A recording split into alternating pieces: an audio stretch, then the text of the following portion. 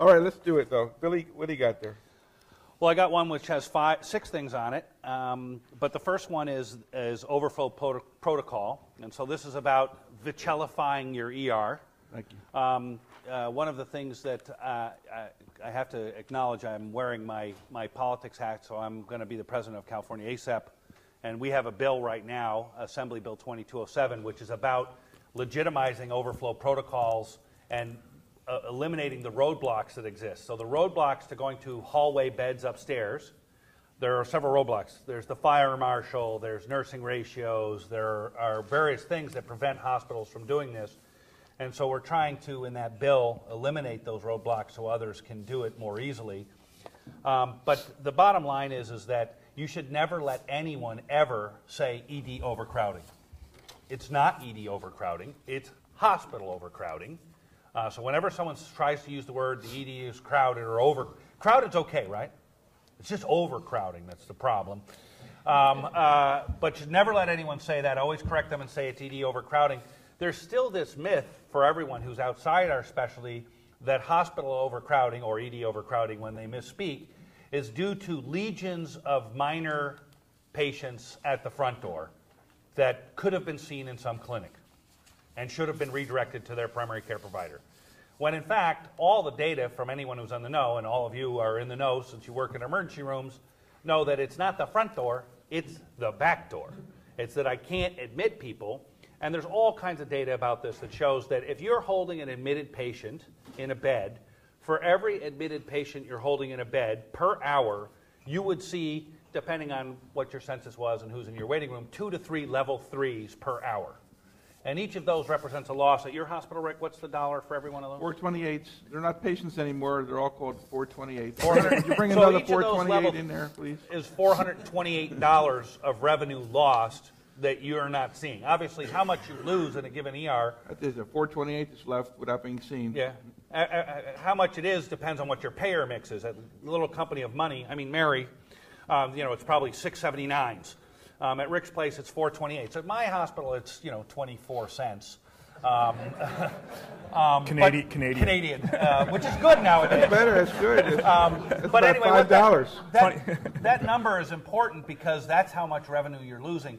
And we just instituted the uh, an overflow, a full capacity protocol, a surge plan at our hospital. Prior to, and the interesting, the data is very interesting. Prior to the implementation of it, we were, and it's like the, it's like Homeland Security, right? There's black. You do a color system. Black and red means you're either dangerously overcrowded or severely overcrowded. And we were pre-implementation of the plan about 50% of the time, some in two pre-month surveys, 60% of the time, red or black.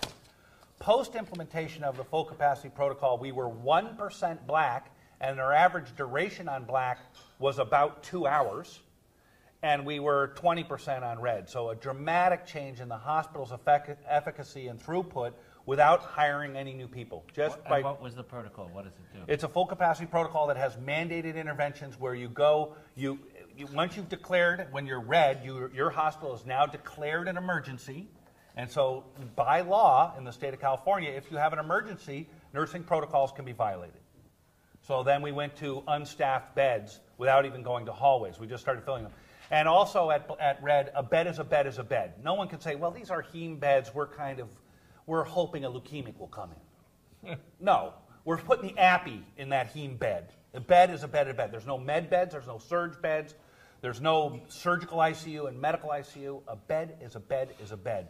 And so all the doors become open to, all the back doors become open. There's no hoarding of beds. And there, the first time we went to red, and theoretically we weren't admitting people in the emergency room, we were holding all these admits. The first time we went to red, and there was no embarrassment by the nursing staff, which shocked me, because I guess they don't embarrass easily.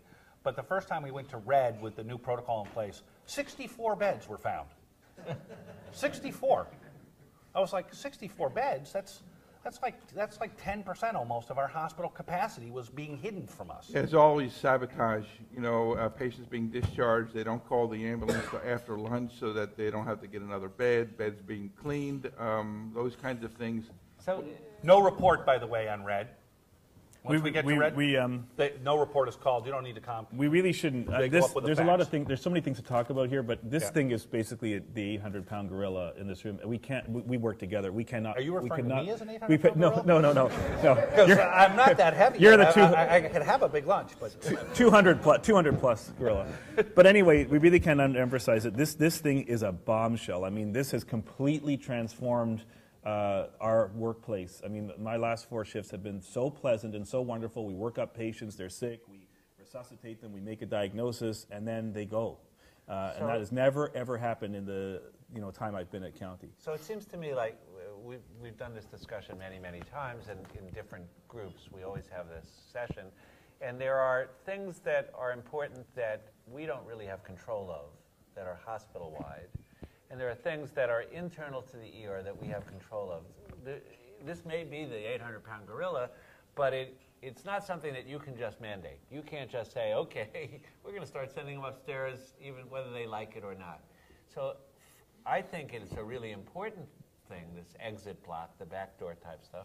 But the question I always have is how did you get people who can make the decision, the administrators, to agree to go along with this? Be, to see that it's their problem, it's not just your problem. Because if it, we can rail about it all we want, but if they don't agree, it ain't going to happen. That was a, that was done at gunpoint. yeah. Well, no, some of it was also done in the media, like when the And I want to ask you guys as well, I'm sure you've all dealt with this, how many of you have actually come up with a solution? And if you did, how did you get it done? Because we can uh, yell until we're blue in the face. As long as they say it's just the ER complaining, nothing's going to happen. Any of you, have you, have you guys solved, how many of you have a problem with patients admitted sitting in your ER? And how many of you have actually been able to deal with it? So I see, yes, we have a problem, we can't deal with it. It's unanimous. It's, it, well, it, I I think there's a couple of different answers if I can sort of pick up on that. One is the financial arguments, and that's generally the most compelling when you're talking to your E CEO, CFO. They want the dollars. Um, there are other answers which are, you know, about surge capacity and public health. You could show them the numbers. At our place, patient satisfaction doubled, uh, up from 2% to 4%. That's actually those are the actual numbers. L Watts, uh, Just imagine the, the 1% below them. I can't, you know, L Watts, L Watts went down, so our L Watts went from like 8% to 5%. Hospital length of stay went down. Number of denied days, which is a chronic thorn in our administration's um, side, went down. Um, all kinds of things happen good that help you sell this. And part of it is knowing your administrators. What, is, what, is their, what are their concerns? And uh, Rick, I think, has spent a lot of time ed- educating people at his place about what, what are the lost revenues. I think lost revenues Closure to ambulance traffic is uh, $1,041. For every hour we're closed, it costs us $1,041. So you got to know the numbers like that. And, you got um, the data. And the numbers have to come from the hospital. If you make the numbers up by somehow by extrapolating what you think, they won't believe it. But when it comes from them, and you turn those numbers around and say, listen, this is what this your behavior is costing you, um, it, uh, I think that's the only way to drive change in community hospitals. County hospitals, you're clearly doing the patient a favor. Yeah. That's why they will tolerate these intolerable waits, et cetera, et cetera. In our hospital, patients are doing us a favor. We just never realized it. And now, now that we know what they're worth economically, it's clear that we are, we, we can't be treating them as if we don't value them. At level red in our scale, one of the things that really makes so the question is, well, what, what makes them less lazy now that the plan is in than before? So at level red, automatically, which is one below the worst, at level red, all, all uh, scheduled admits are canceled. Now, scheduled admits are the cash cow of your hospital, right? That's where they've already done the wallet biopsy, verified the, the payment to be expected, and scheduled them to come in for, you know, a day surgery or a two, two-day stay for something. And so they represent substantial income. So when we get to red, the hospital administration is not happy. So they are very motivated to get off because the cash cow that was supposed to come to the hospital on Monday or Tuesday for its scheduled admit is canceled. What's above red? Black. Black. Black. Of course. What else could be above red? dangerously, it's called dangerously overcrowded. That's what it. And when did you put this in? So it's been in play now for a little over a month at our place, and we have a whole presentation about it. It's, it's adopted. For those of you, uh, if you want to go to the Cal ACEP website, you can download the entire thing and block. We've made it available. Um, we were told that it would be problems, that there would be patient, that there would be dangerous for patients. Sentinel events went down by half in the hospital with this. It's safer for patients, not more dangerous, to go to unlicensed beds or licensed beds that aren't staffed. It's safer when you're at that level. And then invariably it boils down to whose hallways. And you have, so you have to be familiar with the, the hallway argument. Your hallways are worse than their hallways. And the reason your hallways are worse, well, if we take our emergency room, in our hallways you can get tased during a scuffle with a psych patient. TB. You can, you can come in with a broken ankle and leave with TB. Um, you can come in. Their, immu- their hospital is very representative. You know, but the point is, is that the ER hallways are higher. terrorist attacks. Can we come in their with T- you can, it's not like you can also come in with TB and leave with a broken, Broken ankle. ankle. There's all kinds of variations on it. But the point is, is that our hallways are the most. They don't even have a green zone in their hospital. I mean, are the highest trafficked, biggest infectious disease risk, um, noisiest, and least controlled hallways in the hospital. So if it comes down to, well, we can't use hallways, you, you, the answer is, of course you can. You're already using them in the emergency room. Well, but that they always say that. Well, no, we're using our hallways here in our emergency room, and so then it's so it's only a question of which hallways we're going to use. The so other you can thing is, defeat as, that. as you point out, th- th- you know, and Peter Viccellio is always fond of saying that once you send them upstairs to the hallway upstairs, they don't stay in it. They're never in the hallway Never upstairs because there really is a bed. And there really they is a just, bed, They, yeah. and, but Yeah. the patient's there and the family's there, and they're like, "Where? Why are we in the hallway?" They find a bed. So the average duration of time spent in a hallway from Peter Viccellio's data in New York and uh, from data from other hospitals is if you go upstairs and you're in a hallway, your average duration of time spent in that hallway is two hours. The average duration of time spent in an emergency room hallway is, uh, in the Peter Viccellio numbers, I think it's 19 hours. And that's another way by which your hallways are worse than their hallways. Their hallways, they manage to get out of them. Your hallways, they're, they're practically bolted to the floor and aren't going anywhere. So Does it seems- anybody do this? In Orlando, I was there in Orlando last week, and we asked uh, 100 people, how many of you do this? Not one. ex- no, Yes, there was one hand. It was a doctor two- who worked at Stony Brook. Yeah. There's usually a few hands. I mean, Yeah, it- numerous- And Two- so anyone two. have a full capacity There's protocol? two- No one here? There's two uh, in there the first, yeah, from Australia, access block, you call it there, right? We, we've actually beat you to it. We had a thing called Code Yellow, and they used to announce it overhead, Code Yellow. That's when we need a urologist. The reality was, what happened is people complained about all the messages in the end, so they stopped calling it Code Yellow. Now it no longer works, so your progression is that this will appear to work a lot. Yeah, we got to watch that. The core issue is lack of beds. Right. hospital's running at hundred percent capacity, you cannot have a flow by definition. Mm-hmm. Now, the UK guy, we went, Brian and I visited St Mary's in London, they have calculated, when they get ninety-three percent capacity, they start to fail to meet their four-hour criteria. It is all related to bed occupancy. That, that's, you're right, and, th- and that's exactly what's happened in our system, is that we're moving into a hospital that has not enough beds.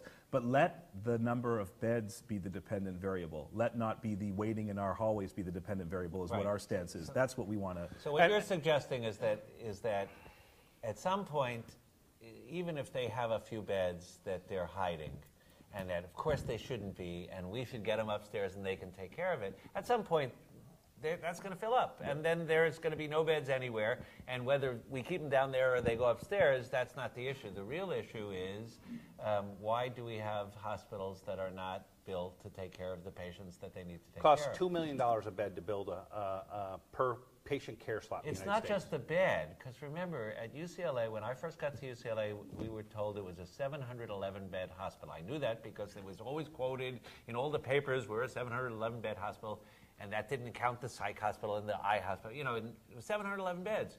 And then at some point, we went down to 563 beds. How did that happen? The beds didn't go away. They just closed wards because Nursing it was staff. they, Nursing staffing. they, they didn't have nursing staff, or they didn't want to have the nursing staff. And then now we're down to 400 and something bed hospital. It's the same hospital, and we're moving into a new hospital, which is going to be less. So Sounds the real issue is staffing. That's the real issue. Well, right? I, I, No, actually, that's- disagree a little honestly, bit. I- not and really what I true, would say is, is that Some yes, ways. we need new, we need more beds, we need more inpatient capacity. True, but there's a question about how efficiently you use those inpatient beds. And if the upstairs wards and and and, and ICUs are insulated from the chaos that is the emergency room, it's just human nature. They take their goddamn time. They're having coffee, they're on break, they're change of shift. But if you break the insulation barrier down and they start feeling the pressure from the emergency room, it goes up. When we did, and this has been done in country after country, Australia did it, Chile did it, other places. You, you, you bring these fancy mathematicians and flow people in. There's all these computer programs. They call it the stochastic analysis. And whenever you do this, and they did it at our place, and the result was the same as it's been everywhere around the world. When they asked, what's the best way to fix overcrowding, ER overcrowding, and they go to the administrator and say the best way to fix it is, is to make sure that hospital discharges occur by 10. They said, What? We asked you about the ER. They said, Yeah, we're telling you what the answer is. And so, what this shows, a lot of hospital discharges don't happen until 3, and they're blocking the bed, and you can have a discharge unit and things like that. But every time they look at it, the best way to fix the ER is to get, get people out of the hospital and be more efficient. And the second thing that Peter Viccellio always points out, which I think is important to acknowledge, which is that we schedule a traffic jam in the emergency room. And the way we schedule it is the emergency room is 365 24 7, but the hospital wants to be 9 to 5, five days a week. So all the elective admissions come in and take beds on Monday. Eh, If you talk to administrators, it's amazing. They'll say, oh, Mondays must be a good day in the emergency room, should be quiet.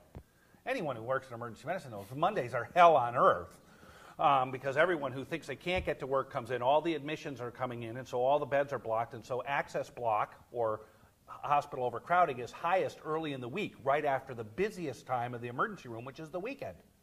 And so we get on top of our fluctuations, which go like this. We, we superimpose another sine wave, And which is on a five-day periodicity, And guaranteeing is a block And they Monday. do hide beds, and they could be more efficient, et cetera. But you'll also notice that in the United States, over the last 20 years, the amount of, the length of stay for every single disease that there is has gotten shorter and shorter and shorter and shorter. At some point, you're going to get to a place where it's not about getting them out at 3 o'clock in the morning, in the afternoon versus 10. All those are true. You can make, make efficiency a little bit more and a little bit more, but there's a jam. There is a jam because we have more patients than we have place to put them. And unless we solve that, we're not going to fix, we're Just ultimately going to get to these problems. This gentleman How do talk. you deal with the nursing staffing, you know, California Nurses Association? Right. So the so the only so the only opposition to AB 2207 is the California Nursing Association, uh, which is a large lobby, and they're trying to steal our nurses in Southern California, which are SEIU 721. There's a lot of politics involved with this.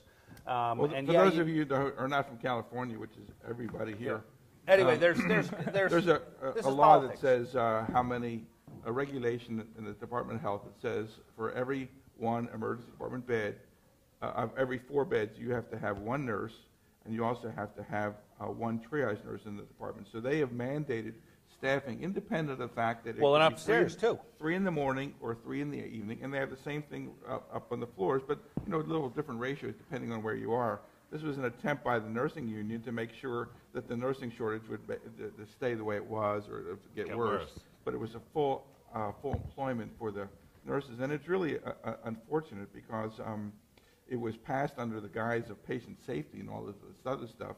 But the fact of the matter is, is it's taken our ability to staff more uh, cleverly uh, away. I mean, frankly, Right, but it's don't- any different than what doctors do or paramedics do or anybody else do. Well, they did it here all, all of our all of our unions are based on trying to make it better for ourselves. But Jerry, what are the, about the five day and seven day thing? If you just took your hospital and you said, okay, you're a new surgeon, you're a new whatever coming on staff, you're a puppy. You're, you're, when you're a senior person, you can do your elective admissions on Monday or Tuesday.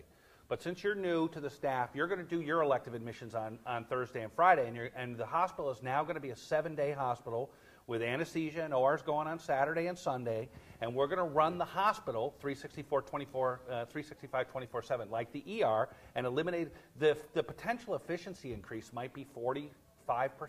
But those are staffing issues, absolutely. If understood, you- but I'm if just saying staffed appropriately and you dealt. These are bigger issues than just what you do in the emergency. Oh, room. absolutely. So That's I why it's think gotta be a of the- hospital approach. While I think there are these things that we should lobby for, and they are important, that we get stuck with all the overflow. I think we should also talk, some, spend some of this time talking about what we can do that is independent of what the, the hospital Right. does. So internal things within the emergency department, there's a couple of things that are written here, and one that I strongly agree with and one that I actually disagree with. So I think the one thing that we have found to be uniformly helpful is bedside registration. That's something that, who, who does bedside registration here?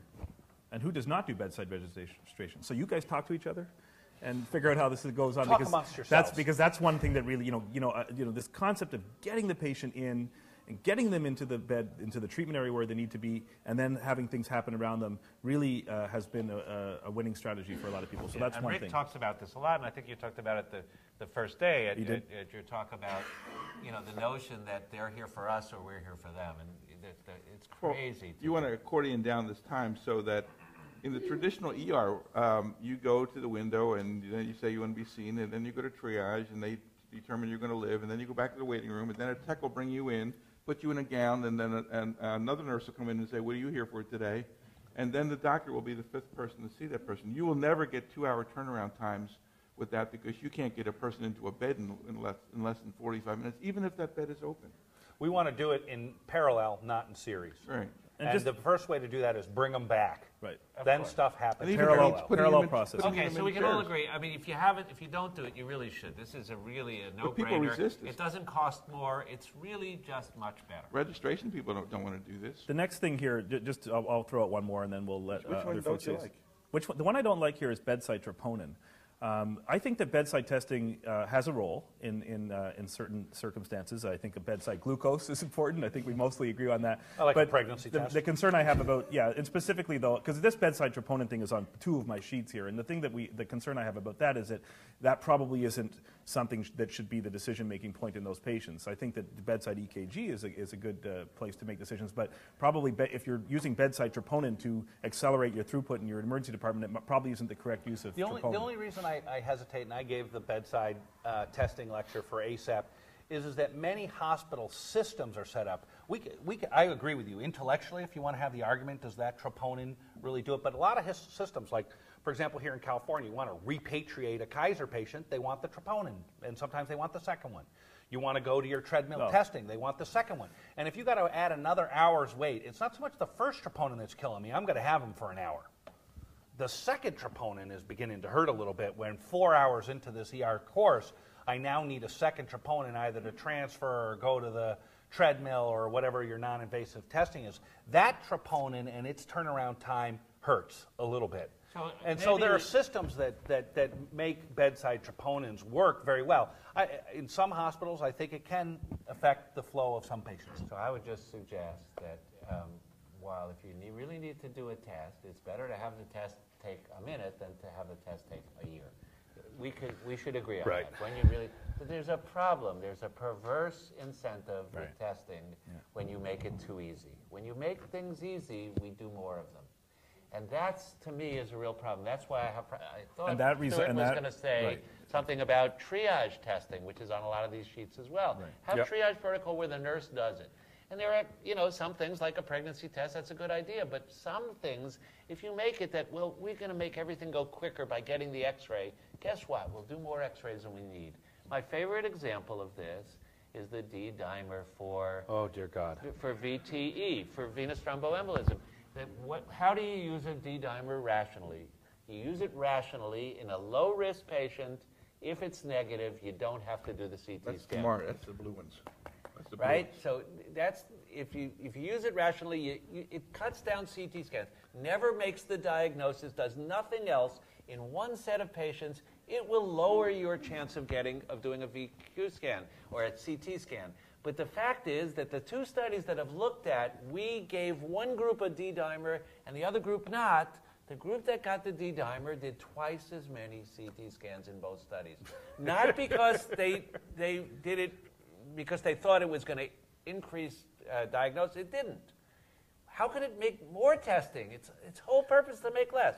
Well, because you started doing it in people With no risk. with no risk. I never would have done it, but I'll feel good if it's negative. It's easy. It's quick. Might But as yeah, well yeah, do yeah, it. yeah. And then it's positive. once you do that, and then of course there are a lot of false positives, and now you're look what you've done, Ollie. so this is true of all of these strategies, which say, well, let's make it easier to do tests, because when you do that, yeah, it might help you in some patients, but I guarantee you, you're going to end up with now, what do I do with this result of this test I didn't need in the first place? Just yeah, and just just to back up one step from that, it's just really part of this whole theme. We've been doing this for year after year here, and it's this whole concept that there, why the patient is there to see you, to see an experienced emergency physician. That's why that's the key element here. And that's why we say bring them back, get them evaluated, because all the strategies that are all about not seeing you and being put through these horrendous protocols and this whole concept that we'll do lots and lots of tests up front, just in general, in general, is a strategy for disaster and, and, and reckless resource stewardship. And not just the general principle here, just it's a general trend. It applies to the troponin, it applies to the x-rays and triage, it applies to all sorts of things, the BNP and all sorts of things that, that we're trying to do a million tests on the LFTs up front. When then they come and see you and you're like, you know, geez, I wish I would have had a chance to use my judgment here Well, that's so that I could discharge this patient. You that's get- what it's all about. You It's about seeing the you. bucks to decide what they need, and um, and I, I, it gets me nervous when I see these.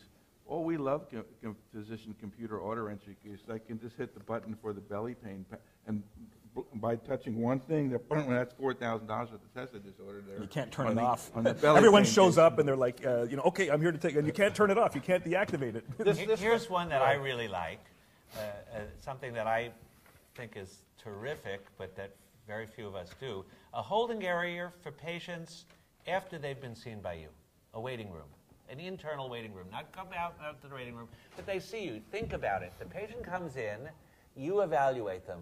How many of those patients still need to be on the stretcher? You've sent them off for x-ray, or you're trying to see, you know, we gave them some, some medicine, we want to see are they better? Why do they need to be taking up that exam room? Um, when I was in England five years ago, I spent a year there, and I was, uh, I was, uh, uh, I saw this. They did this all the time. The patient would come in, and as soon as you were done with them, they'd go out to some other place, where, and you'd call them back later when you had their results or when you were ready to go. It was, it made the functional space in your department five times larger. There are some patients, they're sick, they got to be in the bed. But a lot of patients, they don't have to be in the bed. And I really think it's a phen- phenomenal idea.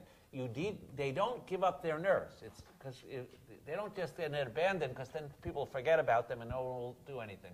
They still have the nurse, they're still responsible for them. You're still responsible for them. You have to have a system to remember when the test is, is done. But it, it, I think it's a fabulous idea. Who wrote this? Do you have, do you do this? That um, that Hammonds. that was um, one of the best suggestions last week when we did the Orlando course. Made it very clear that people don't own those beds till the end of their visit, um, because that is a really, really good way to really defunctionize your department. You're, you have a woman there who's got some belly something or other. You're waiting for the uh, HCG, whatever, in terms of the quantitative kind of thing. That person can sit in a chair. Uh, we're assuming that they're hemodynamically stable. We have it. They go out to they go out to a test. They go to a CT scan. Their bed is taken. You can't put another patient in there because Right. that patient's off for somewhere else. That's nutty.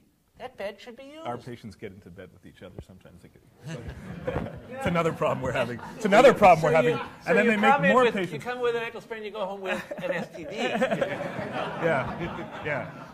The other, Why, uh, why are you laughing? Okay, there's a, gen- a gentleman here. And let me tell you how pleased they are with that. Patient satisfaction is very high. Sounds like a good idea, but what's the difference between doing that and sending back to the waiting room? Well, it- Some you- people do do that. You could do send it back to the waiting room. It, it, I think you lose a little more track of them. I think it's a little easier if you have a place where an they go and. And you they know, feel like they- they've been dissed in the And waiting then room. somebody knows, this is the patients who are waiting, that for, for us to finish up with them. So you have a better sense of them. Hmm? Where is that magical physical space? well, you take one of the, Oh, I get this other space where I can Well, you could take one, Everything's- you could take one exam room and take the stretcher out of there and put three or four chairs in there. Or put the chairs along the hallway where the fire department doesn't like them. And There- it depends upon your place. Certain, if, you know, we're all in different places. Places have very big size, have different. I'm not saying you can't do it that way, but I think it's better to know who they are, where they are. They're all together one place. These are patients I have to make a decision about and get them out of here. It, it's sort of, it's a good idea. The other thing is, we did a paper a couple of years ago where they had patients where in every room they had a gurney and they had a lounge chair, and some of the patients were boy. randomized to the gurney and some to the lounge chair, and the the lounge chair patients loved it, and the gurney patients refused to participate. They, I'm going on that chair. You know, this notion that you're good lying on this little cot, you know, without a pillow, it's nutty. We should make. the uh, elderly patients who are, are, are already bent in half. When you put the head down, the legs go up. And in that little waiting room, you know, you could have a TV, you could have a, a magazine that's from not from 1926. You could actually make it a. Isn't it really a mindset change? I mean, whether you have a physical place to go or not, it's kind of this mindset change that says, okay, it's not your bed. There's not, you don't need to be laying here in this bed Right. waiting on. Right, There's exactly. absolutely Somewhere else. a mindset change, and, and it's interesting, because we have, a- at our hospital, we have a system where when one of our doc, when our doctors want to, they can call in a backup based on, you know, there's too many patients to be seen or something, or, and, um, when I get called on in- in backup, it's invariably, I'm winding up putting people in the putting people in the hallways to get these rooms up, because if a second doctor comes when there's one doctor, and all the rooms are full of people, I, you just stand there with your teeth in your mouth, you have no place to see anybody. With your teeth in your mouth? That's an interesting phrase, Rick. Rick's, Rick's take my teeth magic out, with, it, with your teeth in your mouth. It's just hard to understand you. There's a, there's a very well-known place down, uh, in, um, in the Imperial Valley where they are just overrun with patients, and that they have a sign there that says, "We will be happy to give you a, a, you know, a private place to be seen, however, it's going to take longer. If you're willing to be seen in a chair, uh, just let us know and we'll see you." And they. Do you want to sit at the bar, or do you want to actually want a All of- table? All of these people, they give up a little bit of their privacy, I got an ankle sprain, I twisted my thumb, da, da, da, all those kinds of things. Uh, they sit in chairs and. Yeah, those with a personal problem are still seen in a You private room. we, every one of our psych patients was seen in the hallway, we're like, so you want to kill yourself, eh? And, and you want to kill him, okay, good. You do the same thing as I do. Yeah, I'm not suicidal today, I'm homicidal. Me too. And then we got all these. We'll go for a drink after the shift. It's like, excuse me, how am I supposed This to was- see this, this this- lower pelvic pain in the hall? I don't get that. This has uh, got a lot of good suggestions here This one that. I, I personally agree with. Like, um, one of the ones, my favorite is multiple techs. I'm really a believer in teching up. Um, we have way too many nurses that aren't doing nurse level work or getting paid fifty dollars an hour, forty dollars an hour.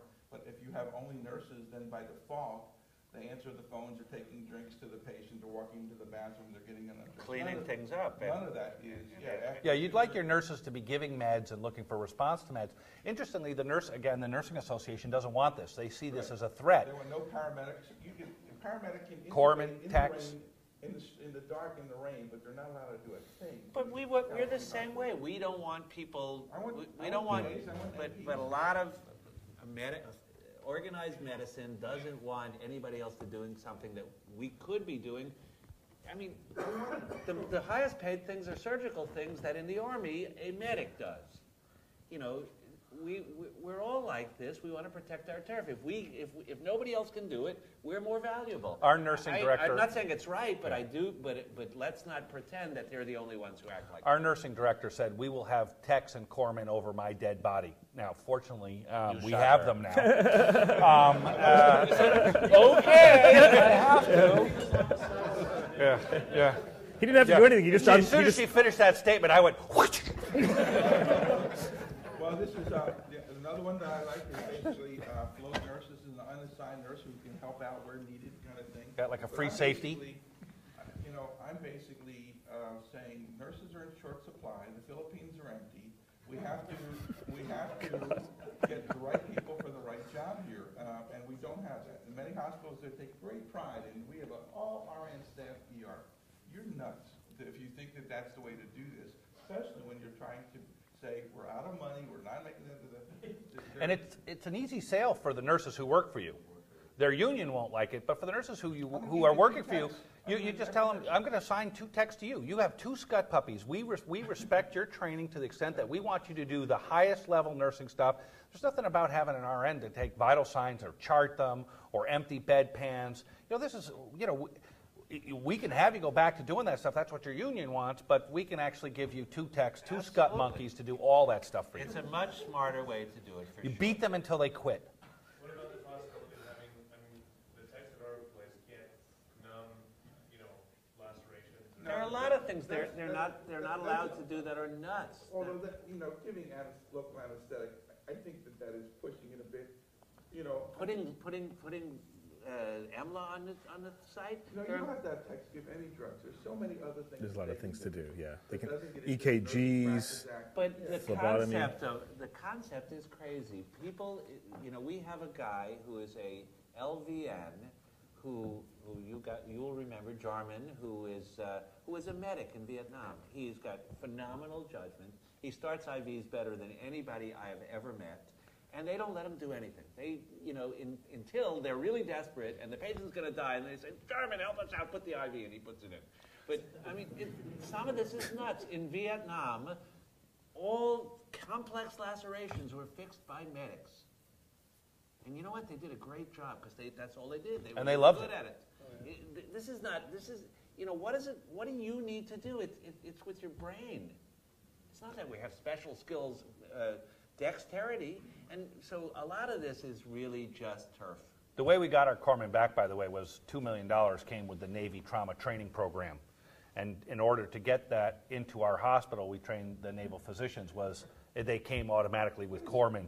What does that say about their hospital, where the Navy does trauma training at the, at the Los Angeles County USC Medical Center? And we lament the fact that we don't have as we we, we used to be like two to one, uh, two blunts for every penetrating if you picked a high injury severity score. Now we're all the way down to five or six to one. Uh, we have a lot more blunts now than we we used to have a lot of penetrating trauma, but now it's just a couple of gunshot wounds a shift. Do you want to, any others that you like? Yeah, there's some. This one, this Anything this one, this one has. Those are usually patients shooting each other because they're in the wrong bed. This one, you know? th- this one, this one has two that I, I agree with uh, that are I think are really smart. First off, it points out you need to have more nursing home beds and not be afraid to use them for younger patients who are convalescent, rather than for older patients who are never going to convalesce at all. I mean, what we send to the nursing home are boulders waiting for them to desiccate further and then get some CPR in their death ritual.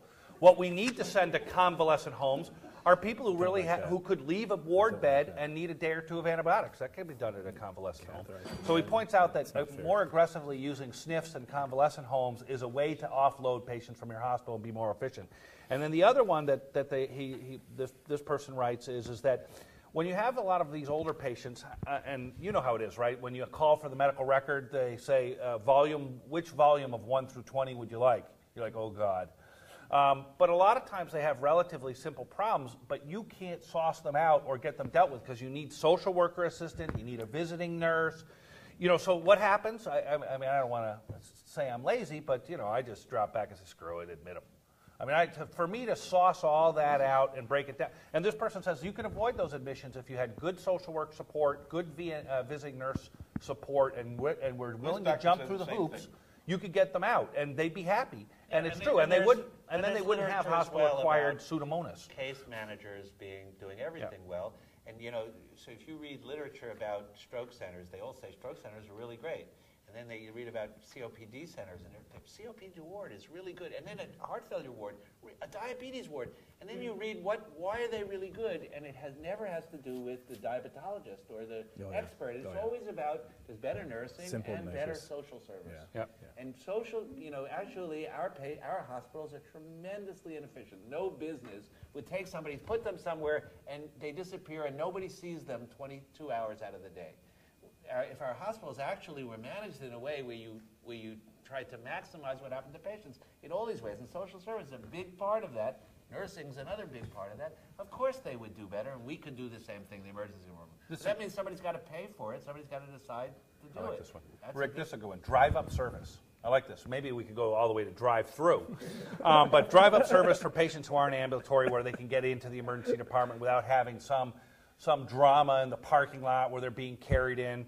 And uh, I could see this going right from drive-up to drive-through, where they could ask for a Vicodin combo supersized um, with fries. You know, uh, and the other one here that I thought would be interesting to talk about is the doctor suggests that uh, CT brains need no authorization from radiologists. Ooh, where's that? I'm loving that. Who has what- to ask a who's have to ask for- radiologist for permission? Where are you? Where what environment are you practicing in? In where? In New Brunswick. Do you actually have to ask Jim Ducharme to get that Yeah. CT? Who actually has to be? No, asking a radiologist for permission. What I like to do when they when they start saying they want permission, one of my favorite moves to do is just to push the patient actually into the reading room. And then uh, and they're, if they're moaning, I like a moaning sort of violent patient. They, what are you doing? What are you doing? I'm like, Listen, if you want to make the clinical decisions, you should examine them and see them. And oh God, no, there's nothing more frightening to a radiologist than the potential of actually have to, having to sully their hands uh, with direct patient care. I'm happy to have their advice. I'm happy to tell them what they think they need to know to tell me the best study. But other than that, please shut up. It's a Be- problem. A recognize problem. you're a technician. The only reason your specialty exists is that once upon a time to get a chest x-ray, you had to have a particle accelerator in your hospital and you didn't want people to blow up and shit. That's why now a chimpanzee can shoot a chest x-ray and a chimpanzee can do a head CT. You know, and, and I don't really want their help on it. Just be the technician you are. So Go back to the- sleep. One of the things is make friends with other people in the hospital. It's about outreach. No, but it was like that. And when I was in New Zealand, it was like. Is it like that in Australia? It's like that in, in, in England very, very Yeah. much. And, and we're, we're sort of lucky in the States in that emergency medicine is, is really more, much more um, Yeah, we a don't. specialty and very few places where you have to do these types of things. In England, when I first got there, we, uh, one of the first patients I saw was uh, somebody who, you know, major trauma, altered, blah, blah, blah, and got sent over for uh, head and neck, and they, they sent it back, for, we want plain films first. But if I was like so I a, went over and I, you know, Is this like like a, CC, a and then it's CCFPEM or an FRCP trained uh, emergency physician and practicing in New Brunswick? I'd have to call for permission to get CTs. I mean, what happens in, in, in Canada, most, I'm from New Brunswick as well, is that What's going on here? radiologists Are trying to police the tests, and they're policing the tests because most of them are not paid on Right. Hmm. the X-ray they read. They're salaried physicians, and they get paid the same amount whether they read ten scans or one. And when it's two in the morning, they're not going to want to get out of bed to look at their computer or to come in and. Yeah. Oh, poor babies. They have it projected on the ceiling So over they their act bed. like everybody else who, who basically, they know it's eventually going to get done, but this way I can push it back and push it back. So the issue of getting permission comes down to them wanting to police the technology, so when it's more comfortable and convenient for them to interpret Right. the specialized data. So, so the group at Little Company of Money, I mean Mary, um, they are a 22-member radiology group who, on their business expense, bought a villa in Spain. And so two members of their group are there so they can read, you know, after an espresso and, and, a, and a croissant in the morning, they can read our scans in daylight while we're slaving in the ER at night. But asking a radiologist, I, I mean, you're asking the least clinical person, right? We talk about the me specialties, radiology, ophthalmology. it's all about me. we're 10 minutes over. Um, you're, 10 to minutes ask over. a, Not so bad. a non-clinical me there. specialty to give you permission for a clinical decision. It's about it's like going to the lowest common denominator. They have absolutely no clinical skills or anything about this, and that's why pushing the patient in there is good for them because it's like, oh Jesus. You can't solve this on a, you can't Have solve we- this on a have we solved all the patient-to-patient little problems basis. You have to fix it. That's not that has to be fixed. That has to be fixed. That's a problem. Yeah.